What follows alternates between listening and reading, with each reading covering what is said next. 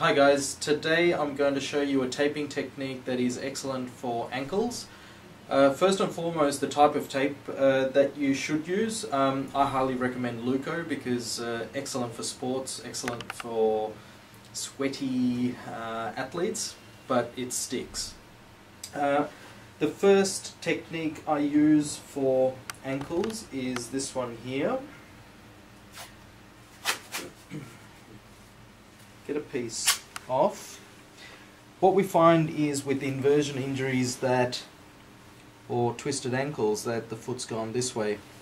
And in most cases we have uh, the bottommost joint in the foot not working the right way. So if we correct it and I use this technique to correct it the athlete can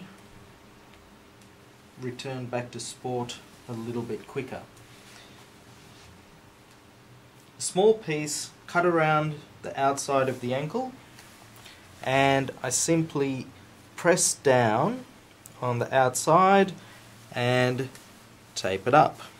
Now there are different variations to this. One is to start out here and finish just on the other side as well. I tend to go across a little bit further.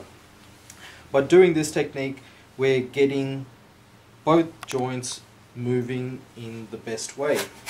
Now after this we have normal taping of the ankle which I use an anchor for.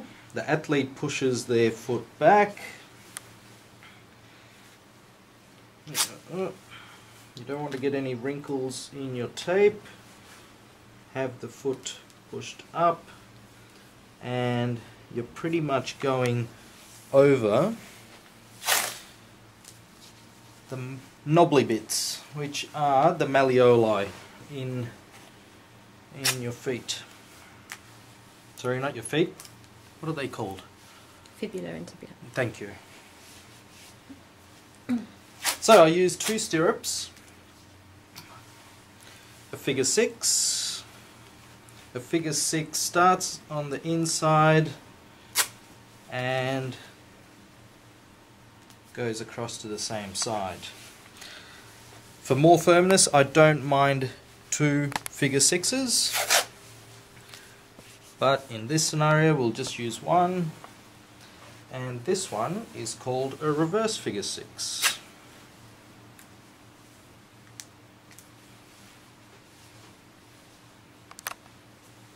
And after that, depending on how firm the athlete needs it, you can do a few of those.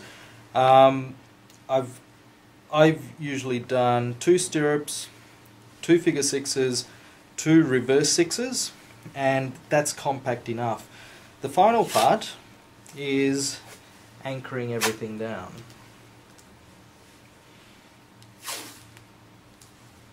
As you can see, I'm not going behind and cutting across underneath because if you go right around sometimes the um, Achilles can get affected.